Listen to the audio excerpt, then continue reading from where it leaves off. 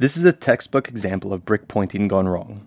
What we're looking at here is an incompatible Portland cement based mortar that was used to sloppily and shallowly repoint older brick. This particular blend of mortar is totally impermeable to vapor, which is the exact opposite of what we want. The white crystals are efflorescence, and they occur when salts and minerals are carried by water as it passes through bricks. In this case, solar heat was driving moisture inwards. If the pointing was done a little bit deeper, this incompatible blend could have caused massive failure in the bricks.